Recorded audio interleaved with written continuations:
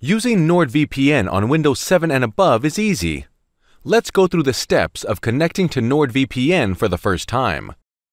Click on the NordVPN application logo on your desktop. When the application window opens, wait for it to load and enter your credentials. The main screen of the application will appear. Here, you can see the map and the menu bar at the top of the window. On the left side of the menu bar, you can navigate through various parts of the application, such as Map, Countries, and Settings. At the center, there is the Quick Connect switch, while the Search button is on the right. Clicking the Quick Connect button will automatically connect you to the server recommended for you.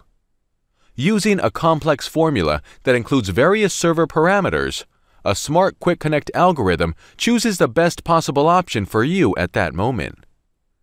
You can also connect to a server in a specific country by clicking on the country pin on the map.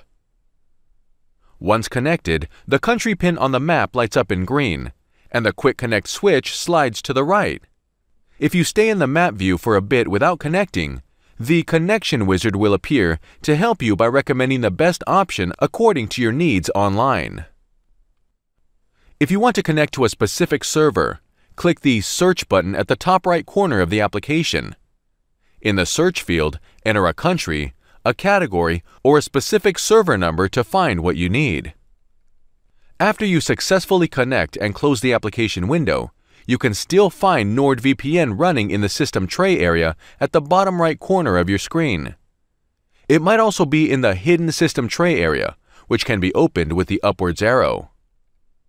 By right-clicking the system tray icon, you will have all basic controls just a single click away.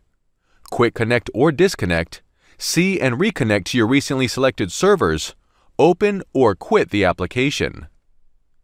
With NordVPN up and running, you can enjoy private and secure internet browsing.